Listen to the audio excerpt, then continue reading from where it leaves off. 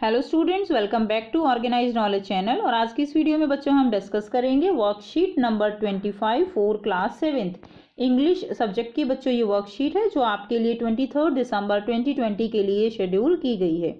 आज की वर्कशीट में बेटा हम नया टॉपिक पढ़ेंगे और अभी तक अगर आपने चैनल को सब्सक्राइब नहीं किया है तो ऑर्गेनाइज नॉलेज चैनल को सब्सक्राइब भी कर लें और बेल आइकन भी प्रेस कर लें ताकि आप बच्चों को समय से वीडियोस की नोटिफिकेशन मिल जाए और आप अपना काम टाइम से कंप्लीट कर लें। तो चलिए बेटा स्टार्ट करते हैं। Look at the following pictures carefully and read out the words given against them आपको क्या करना है? आपको ये पिक्चर्स ध्यान से देखनी है और आपको जो ये इनके साथ वर्ड्स दिए गए हैं, उनको रीड करना है। तो देखिए, पहली पिक्चर्स में आप पिक्चर में आपको क्या दिख रहा है कि कुछ बच्चे जो हैं, वो बहुत हैप्पी हैप्पी हैं। हैप्पी मूड है उनका बिल्कुल, ठीक है? तो हैप्पी के साथ एक और वर्ड लिखा हुआ है, क्या है? ग्लैड यानी ग्लैड का मतलब भी क्या होता है? हैप्पी ठीक है? अब देखिए नेक्स्ट इसमें क्या दिखाई दे रहा है कि ये बच्चा जो है, ये लड़की जो है, बड़ी डरी हुई है, यानी फियर फियर यानी डर। तो बेटा फियर के साथ वर्ड लिखा है स्केयर ओके तो स्केयर भी क्या होता है? स्केयर का मीनिंग भी होता है डरना। यानी जो भी आप यहाँ पर वर्ड पढ़ रहे हो, बेटा उनका मीनिंग दोनों का क्या है? सेम है। हैप्पी यानी खुश होना ग्लैड भी खुशी खुश होना फियर यानी डरना स्केयर डरना। उसके बाद देखिए, ये जो है फैटी है तो यानी फैट यानी मोटा एंड ओबेज यानी ओबेज भी क्या होता है? मोटा। नेक्स्ट देखिए बेटा, ये बच्चा जो है बहुत सैड है यानी सैड का मतलब क्या है? सैड यानी एक और वर्ड लिखा है ग्लूमी तो ग्लूमी बेटा होता है ग्लूमी यानी डार्कनेस डार्कनेस क्या मतलब क्या होता है कि सैडनेस ठीक है बहुत उदासी जो होती है उसको हम ग्लूमी बोलते हैं. सो so, सैड तो यहाँ पे हमने क्या देखा कि ये कुछ जो वर्ड हैं वो ऐसे वर्ड हैं कि वर्ड तो टू है लेकिन उनका मीनिंग जो है वो कैसा है? मीनिंग सेम है. जैसे हमने पढ़ा फियर डरना स्केयर डरना हैप्पी खुश होना ग्लैड भी खुश होना. तो आज हम कुछ ऐसे ही वर्ड्स के बारे में पढ़ेंगे जिनका जो वर्ड तो अलग अलग है, लेकिन उनका मीनिंग जो है वो सेम है। और ऐसे वर्ड्स को हम क्या कहते हैं? ऐसे वर्ड्स को हम सिनोनिम कहते हैं। आइए बेटा सेकंड एक्सरसाइज जो है यहाँ पर एक्टिविटी वो करते हैं। क्या है? In the following set of word pick out the two which have same और ऑलमोस्ट सेम मीनिंग तो आपको यहाँ पर बताना है कि जो ये सेट ऑफ़ वर्ड्स दिए गए हैं ए बी सी डी चार सेट आपको दिए गए हैं। आपको यहाँ पर टू जो है पिक करने हैं, जिनका मीनिंग वो सेम हो या ऑलमोस्ट सेम हो, वो आपको यहाँ पर फाइंड आउट करने हैं। तो देखिए फ़र्स्ट क्या है? एंग्री ठीक है? अब बेटा देखिए एंग्री का मतलब सभी बच्चों को पता है ना? नाराज़ होना। अब डिलाइट क्या होता है? डिलाइट का मतलब होता है इंजॉय ठीक है? स्मूथ का मतलब बिल्कुल स्मूथ यानी चिकना। और जॉय का मतलब क्या होता है? जॉय का मतलब वही खुश होना इंजॉय करना। तो यहाँ पे कौन से दो वर्ड ऐसे हैं जिनका मीनिंग सिमिलर लग रहा है आपको? एक तो हो गया डिलाइट और दूसरा क्या है? दूसरा है जॉय तो आपको अपनी कॉपी में ये इसी तरह से करने हैं। आपको लिख के उनको जो है या तो सिनोनिम लिख दीजिए या ऐसे ही सर्कल कर दीजिए। तो यहाँ पर कौन से दो जो है हुए जिनको आपको सर्कल करना है? एक तो हो गया डिलाइट जिसका मीनिंग सेम है किसका? जॉय के साथ। तो ये दोनों हो गए। सेकंड सेट में देखते हैं ब्रेव ब्रेव तो सभी बच्चे जानते हैं ना? ब्रेव ठीक है? I am a brave boy बहादुर बच्चा। क्लेवर क्लेवर यानी चतुर। अब बोल्ड क्या होता है? I am very bold bold यानी इसी तरह ब्रेव जो है, उसी को हम क्या कहेंगे? बोल्ड कहेंगे। और नेक्स्ट है डल डल यानी जिसके अंदर कोई शाइनिंग नहीं है, चमक नहीं है, बिल्कुल। तो ऐसा वो क्या होगा? डल होगा। तो आपको कौन से सेम नज़र आ रहे हैं? एक तो हो गया ये ब्रेव और दूसरा कौन सा है? ये बोल्ड ये हो गया। नेक्स्ट देखते हैं बेटा। नेक्स्ट देखिए रिफ्यूज रिफ्यूज का मतलब क्या है? मना कर देना। असेप्ट का मतलब असेप्ट कर लेना। डील का मतलब क्या होता है? आपस में डील करना, किसी बात पर समझौता करना। डिनाई का मतलब क्या होता है? डिनाई उसने मेरे काम को डिनाई कर दिया। डिनाई यानी मना कर दिया। तो यहाँ पर कौन से दो वर्ड सिमिलर हुए?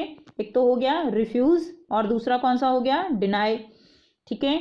अब डी देखते हैं। हॉप क्या होता है? हॉप, जैसे जो फ्रॉग है, वो हॉप करता है, ठीक है ना? जंपिंग। एंड टग क्या होता है बेटा? टग ऑफ़ वॉर, आपने पढ़ा ना? टग ऑफ़ वॉर गेम होता है, रोप को ऐसे खींचना। तो टग क्या होता है? खींचना। एंड पुल भी क्या होता है? खींचना होता है। नैप क्या होता है? नैप होता है ब्रीफ स्लिप। यानी एक एक होता है ना, नींद का छोटा सा जो है, छोटी थोड़ी सी देर के लिए सोना तो वो होता है नैप। तो यहाँ पर कौन से सिमिलर मीनिंग लग रहे हैं आपको? एक तो यहाँ पर हमारा जो सिमिलर है, वो क्या है? टग है। और दूसरा क्या है बेटा? ये है पुल, ठीक है? Tug and pull. तो ये दो जो है हमारे यहाँ पे सिमिलर हैं, जिनका मीनिंग क्या है? सिमिलर है। तो ये आपको यहाँ पर सर्कल करने हैं। नेक्स्ट देखिए, सिनोनिम। अब सिनोनिम क्या है? ए वर्ड और फेरेज दैट मीन्स एग्जैक्टली और nearly the same. As another word और फेरेज इज़ कॉल्ड सिनोनिम। तो बेटा, सिनोनिम क्या हो गई सिनोनिम ऐसे वर्ड्स हैं जिनका मीनिंग एग्जैक्टली या नियरली सेम होता है दूसरे के। उनको हम क्या कहते हैं? उनको हम सिनोनिम्स कहते हैं। नेक्स्ट है। नेक्स्ट गिवन आपको है। Note a word can have more than one synonym और ऐसा नहीं है कि बेटा एक के साथ एक ही होगा। एक वर्ड के बहुत सारे सिनोनिम हो सकते हैं। Here is a list of some more synonym अब यहाँ पे कुछ और सिनोनिम दिए गए हैं जो आपको अपनी कॉपी में लिखने हैं और लर्न करने हैं। गुड गुड का सिनोनिम क्या होगा? वेल well, अच्छा। इंजॉयमेंट यानी फन ठीक है?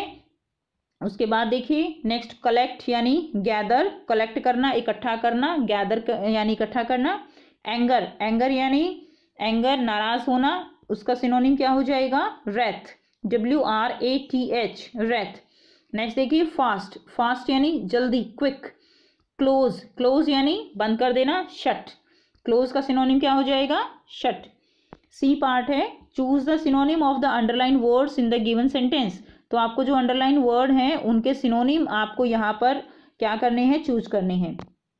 फ़र्स्ट है, Alka is an intelligent girl तो अलका कैसी गर्ल है? अलका एक इंटेलिजेंट गर्ल है।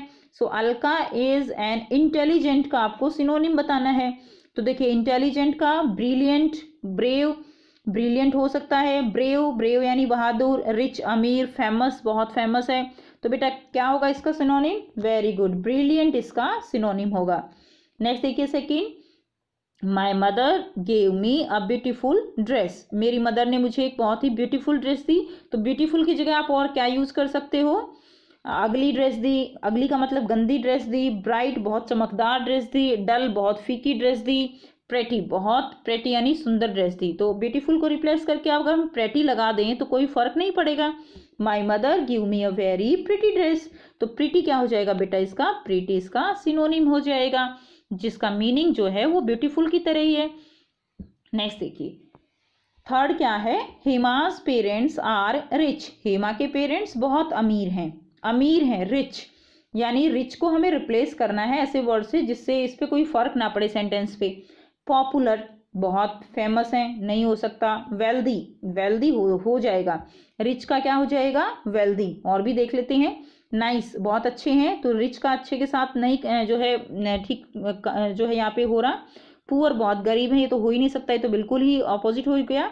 तो रिच का क्या हो जाएगा? रिच का सिनोनिम हो जाएगा वेल्दी ठीक है? तो वो बहुत हेमास पेरेंट्स और वेल्दी यानी वो बहुत अमीर हैं। नेक्स्ट देखिए fourth one I will finish my assignment tomorrow finish finish का मतलब क्या होता है? ख़त्म कर देना।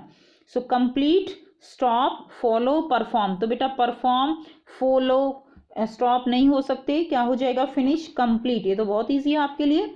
I will complete my assignment tomorrow तो ये जो है, इन चारों के क्या हो जाएँगे? सिनोनिम वर्ड हो जाएँगे। तो आप अपने कॉपी में इनको करिएगा।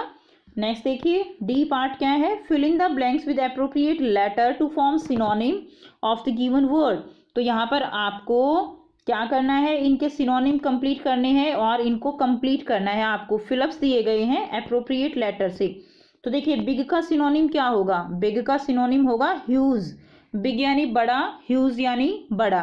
तो यहाँ पे क्या फिल कर देंगे? आप यहाँ पे यू डाल देंगे, ठीक है? यहाँ पे हम स्पेलिंग लिख दे रहे हैं ह्यूज ठीक है? उसके बाद देखिए वेकेंट वेकेंट यानी खाली खाली यानी एम्पटी तो यहाँ क्या आ जाएगा? टी एम्पटी उसके बाद देखिए इल इल यानी बीमार होना, यानी सिक सिक यानी बीमार होना। सिक लीव लिखते हो ना तो सिक बीमार होना। नेक्स्ट देखिए बेटा साथ साथ कॉपी में करेंगे। नेक्स्ट है क्विक क्विक का मतलब क्या होता है? बहुत तेज़ी से रैपिड क्विक का क्या हो जाएगा? Rapid R A P I D fool fool यानी मूरख। मूरख का क्या होगा synonym? Idiot idiot I D I O T idiot ठीक है? बोलते हो ना? You are an idiot next देखिए क्लीन क्लीन यानी साफ़. क्लीन का क्या हो जाएगा सिनोनिम? टाइडी ठीक है? साफ़ सुथरा टाइडी तो ये बेटा आपके क्या है? सिनोनिम वर्ड्स हैं. सो so, ये थी आज की आपकी वर्कशीट आई होप बेटा आपको वर्कशीट क्लियर है. कोई भी डाउट है कमेंट सेक्शन में कमेंट कर दीजिए. और अगर आपको वीडियो अच्छी लगी तो लाइक, शेयर ज़रूर कर दीजिए, चैनल को सब्सक्राइब भी कर लीजिए, and thanks for watching have a nice day